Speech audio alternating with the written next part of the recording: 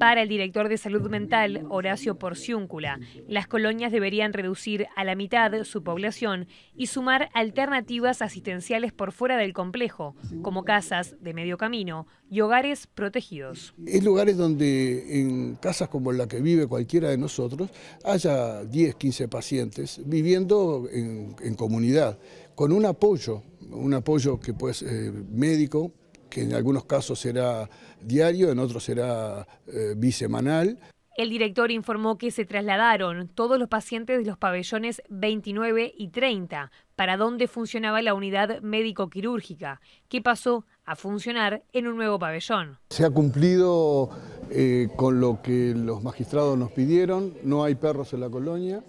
no, no se mató ningún perro, este, recorrimos ayer este, eh, las instalaciones durante seis horas y no vimos ningún animal. El 70% de las colonias han tenido en estos últimos años un enorme compromiso de, una comisión de obras que, realizó obras bien interesantes, este, que realmente le cambiaron la cara a una gran parte de la colonia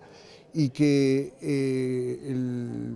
magistrado actuante eh, nos puso sobre la mira sobre esos tres pabellones fundamentalmente, el 29, 30 y el 24, para que nosotros este, tuviéramos que modificar el lugar donde estaban esos pacientes, cosa que como decía se cumplió. Desde el 2006 se invirtieron unos 6 millones de dólares en la mejora de los pabellones.